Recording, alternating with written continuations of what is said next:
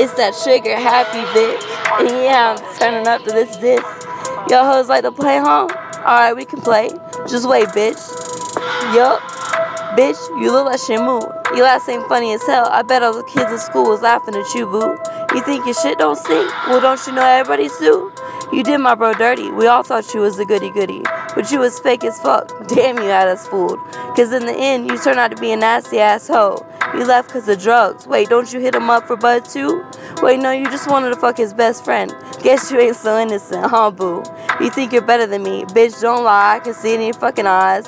If you want to compete, give it a try. I dare you. What's funny is he told you he picked you because he couldn't have me.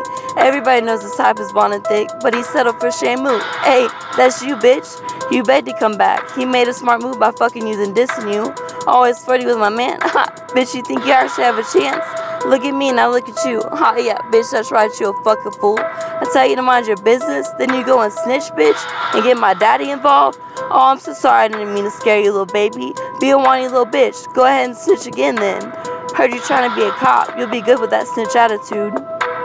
Guess you was too dumb as hell for teaching to work out for you. You should go back to flipping burgers so I can buy in, buy some food, and spit that shit back out at you.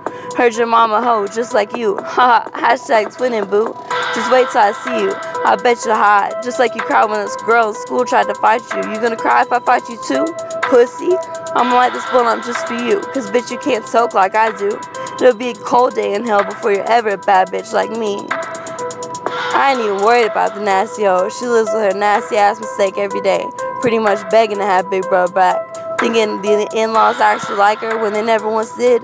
Bitch involve my daddy again, I'm afraid I'm gonna have to motherfucking sin.